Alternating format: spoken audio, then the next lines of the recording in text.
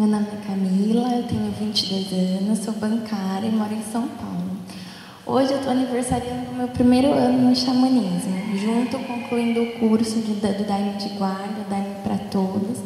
Eu tenho certeza que agora, podendo comungar a máscara sagrada, na, no, no altar da minha casa, eu ainda vou trazer muitas bênçãos. Esse curso me trouxe muito aprendizado, onde ainda vou melhorar muito, trazer muitas bênçãos para minha casa e para minha família.